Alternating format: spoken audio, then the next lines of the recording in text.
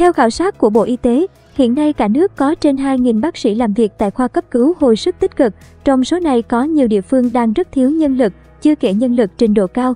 Ở một số tỉnh vùng đồng bằng sông Cửu Long, trên phạm vi toàn tỉnh chỉ có một bác sĩ chuyên khoa sơ bộ hồi sức tích cực. Theo Bộ Y tế, từ thực tế các đợt dịch đang cho thấy gần như chưa có tỉnh nào có thể tự lực cánh sinh điều trị COVID-19 mà không cần sự chi viện từ trung ương hay sự giúp đỡ từ các tỉnh bạn. Cả nước hiện chỉ có một số ít bệnh viện thực hiện được kỹ thuật tim phổi nhân tạo như Bệnh viện Bạch Mai, Bệnh viện Bệnh nhiệt đới Trung ương, Bệnh viện Việt Đức, Bệnh viện Chợ Rẫy, Bệnh viện Trung ương Huế, Bệnh viện Trung ương Cần Thơ. Bộ Y tế cho rằng đề án tăng cường năng lực cấp cứu, hồi sức tích cực cho các bệnh viện điều trị người bệnh COVID-19 là nhiệm vụ cấp bách nhằm nâng cao năng lực cấp cứu, hồi sức tích cực của hệ thống khám chữa bệnh, đồng thời tăng cường khả năng tiếp nhận điều trị ca bệnh COVID-19 nặng, nguy kịch, đáp ứng các kịch bản dịch bệnh gia tăng, hạn chế tối đa bệnh nhân tử vong.